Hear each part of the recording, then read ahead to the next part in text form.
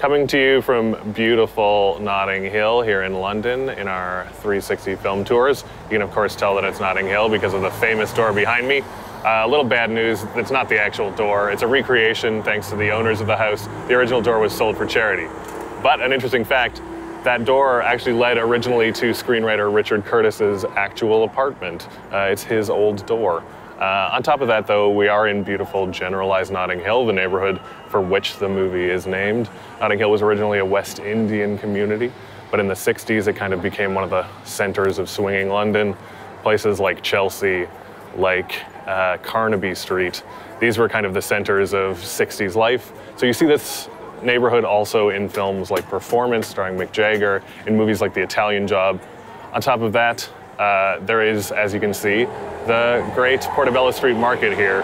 On Saturdays, it goes real wild. It's full of antiques.